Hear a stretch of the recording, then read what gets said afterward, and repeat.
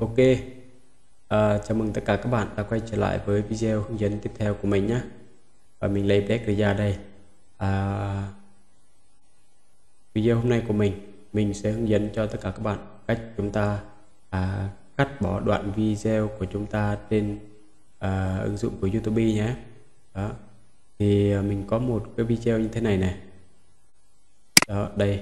Video của mình đang chỉnh sửa trên Camtasia này đó mình vừa mới xuất ra. Xuất ra thì mình vừa mới đăng trên kênh của mình đó các bạn. Đây. Sau khi đăng xong thì mình phát hiện video của mình dài tới 12 phút luôn.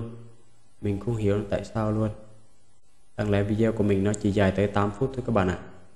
Đây. Dài tới 8 phút thôi. Đó. 8 phút. 4, 44 giây 35 giây đấy.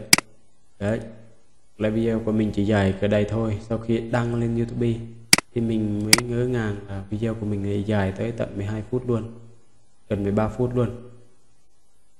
Thì mình mới dò lại, mò lại trên trên phần mềm chỉnh sửa này. Thì mình mới xem lại. Mình lúc lúc đầu mình lại mở cái đoạn này này, cái video đây này, video này của mình này. Đó, mình xem hết. Thế tận 18 phút xong thì thấy màu đen. Tới đoạn cuối cùng này thì đó xuất hiện à, một video nữa. Đây mình dò lại trên à, phần mềm chỉnh sửa này chút đằng sau này, này. Đó đằng sau này có thêm một video nữa mà hồi nãy mình không để ý. Thế là mình xuất xong tất cả video này luôn. Hồi nãy mình quên xóa đoạn video này này thành ra là video của mình đăng lên YouTube thành là 12 phút gần 13 phút luôn. Bây giờ mình muốn cắt bỏ đi. Mình rất là lười. Mình cắt bỏ ở đây vẫn được nha các bạn nhé cắt đi rồi lại đăng lại lên YouTube nữa. Nó rất là lâu mất thời gian. Nên hôm nay mình sẽ làm video để cắt bỏ cái đoạn video này nha các bạn nhé mà mình sẽ cắt bỏ trên uh, trên YouTube luôn. Đó. Bây giờ đây là kênh của mình nhé các bạn nào chưa đăng ký thì bấm đăng ký kênh của mình. Rồi thì để vào cắt bỏ thì chúng ta vào phần đại diện kênh của chúng ta rồi bấm vào YouTube Studio này. Nó sẽ hiện như thế này. Và đây mình sẽ loại bỏ video này này. Mình sẽ cắt bỏ video này này. Mình bấm vào phần chỉnh sửa này phần mũi tên à, cái bút này. Rồi để cắt bỏ thì mình sẽ vào phần trình chỉnh sửa này.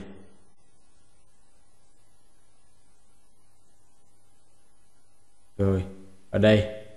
Đây cho các bạn xem lại lần nữa nhé thì video của mình đó đây này. Tới đoạn này này nó có nó có đoạn video màu đen này. Đó từ đây tới đây này. Mà tới đây thì đó, đằng sau này có video nữa. Đó. Bây giờ mình loại bỏ đi cái video màu đen này. Cái video mà từ 9 phút trừ đây này từ đây nha các bạn nhé. Từ 8 phút 40 giây đó thì mình muốn xóa đi. Đó, mình muốn xóa hết cái đoạn sau này này. Đó, bây giờ muốn xóa đi thì ta xóa thế nào? Đầu tiên ta hãy vào phần đầu tiên mình hãy xóa cái này đi nhé màn hình thu nhỏ này mình đã thêm màn hình thu nhỏ rồi. Bây giờ mình sẽ xóa đi đó, mình sẽ chỉnh sửa lại và xóa hết đi mình mới xóa được cái đoạn video đó. Bây giờ xóa hết này. Đó xóa hết đi. Rồi mình vào cái video đoạn màu đen này đoạn cuối cùng đoạn đằng sau này đoạn mình muốn xóa này. Rồi mình chọn xong rồi mình à, sẽ vào phần uh, phần lưu nhé đó, lưu lại hôm nay mình xóa màn hình thu nhỏ rồi. Bây giờ mình sẽ vào đây, vào phần cắt bỏ đây này. Các bạn kích vào phần cắt bỏ cho mình nhé.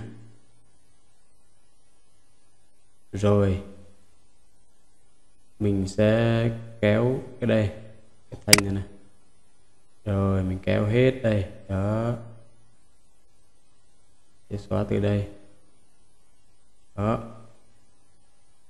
Xóa từ đây này các bạn nhớ nhá cái cái đoạn màu trắng này này đoạn màu trắng này, đoạn mình giữ lại đoạn sẽ à, hiển thị à, xuất hiện trên YouTube nhá. Còn đoạn bôi đen này này là đoạn sẽ cắt bỏ sẽ loại bỏ đi. Đó bạn hiểu chưa cái đoạn màu, màu đen này này đoạn bôi đen này, này đoạn chúng ta sẽ xóa đi. Và mình ví dụ nếu các bạn muốn ví dụ các bạn chỉ muốn đây đây mình đây nhá. Ví dụ mình ờ, muốn xóa đoạn tay này thôi.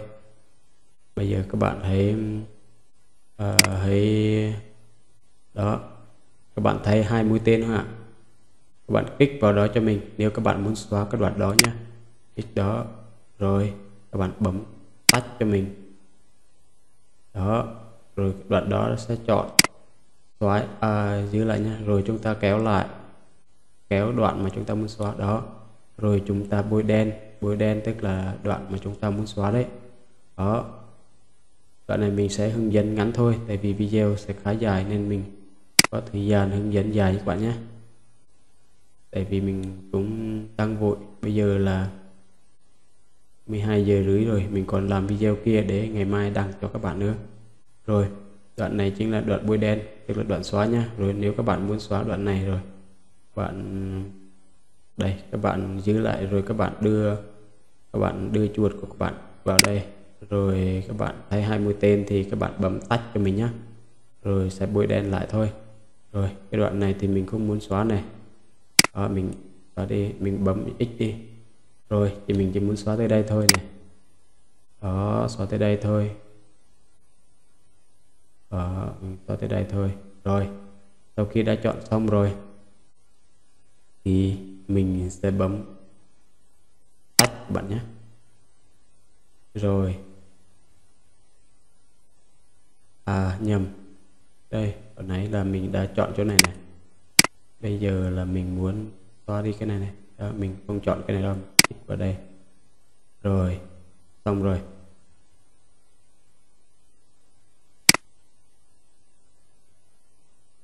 Bây giờ mình sẽ chọn xem trước nha để chúng ta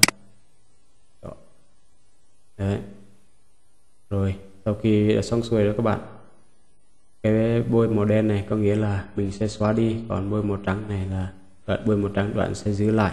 Rồi sau khi mình đã chọn cắt rồi thì mình sẽ chọn bấm lưu nhé các bạn nhé. Bấm lưu vào để video của chúng ta à, lưu lại và sẽ cắt đi cái đoạn mà mình không cần á.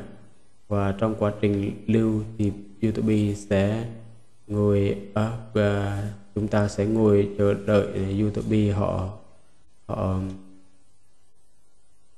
họ chỉnh sửa video của chúng ta, rồi chúng ta bấm lưu lại để chúng ta cắt đi cái đoạn. Rồi lưu lưu nội dung thay đổi này, khi bạn chọn lưu, hệ thống sẽ lưu trữ phiên bản video gốc để bạn có thể hủy các nội dung chỉnh sửa này.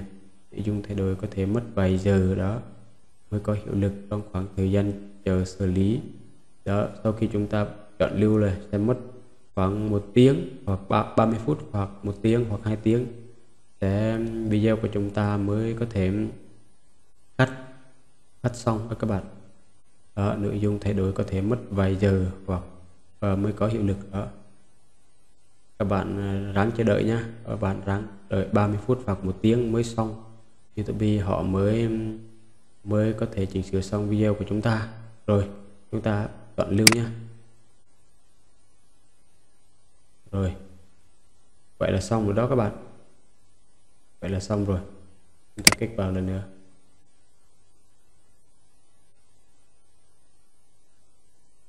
Lưu cho mình.